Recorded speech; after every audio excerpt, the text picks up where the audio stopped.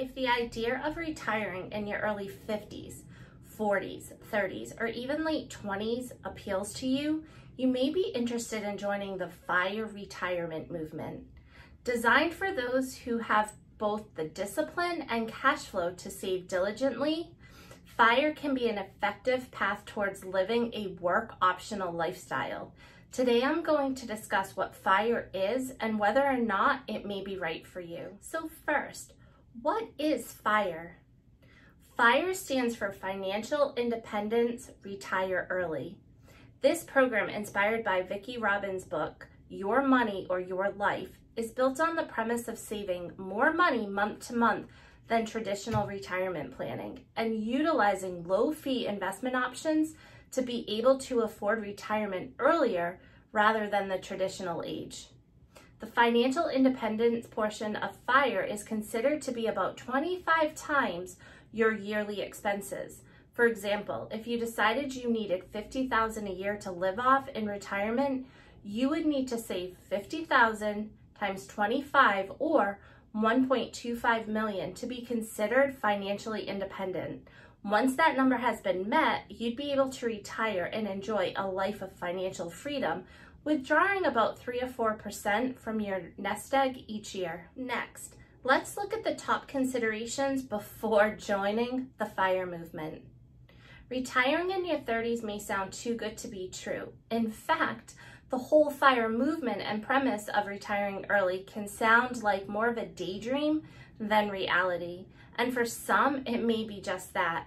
But for others who are able to or willing to embrace the lifestyle, Financial independence early in life can be possible. Here are a few important considerations to make before deciding if the FIRE program may be right for you. Consideration number one, you'll need to spend wisely. The big factors of the FIRE program are income, expenses, and time. The idea being the bigger the gap between income and expenses, the less time it will take you to reach financial independence. And while it may sound extreme, Depending on your timeline and desired income level in retirement, you could be looking to save more than half of your income to put towards an early retirement. This is something that would need to be calculated individually as it's based on your income level and your current expenses. However, living a frugal lifestyle now is almost always a universal requirement of the FIRE program and other early retirement seekers. Consideration number two, FIRE followers don't embrace traditional retirement.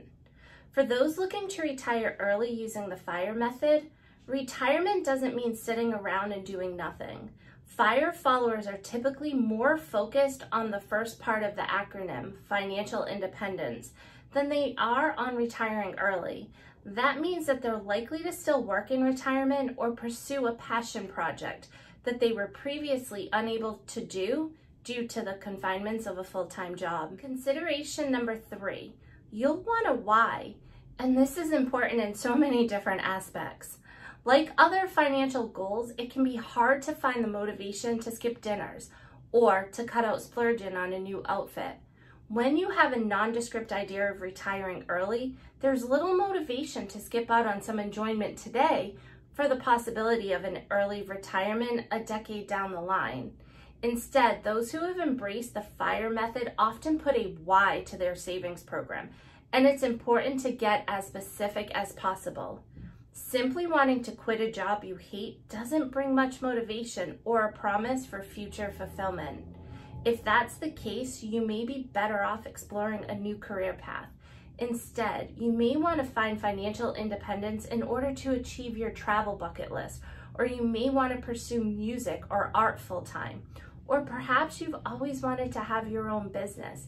Whatever it is, you want to define your why and let that guide you in making positive progress towards your financial independence. The FIRE program is an appealing method of reaching retirement early on in life, and it allows for followers to find the flexibility in doing what they love. It does, however, take self-discipline and the ability to spend less today in order to save for tomorrow.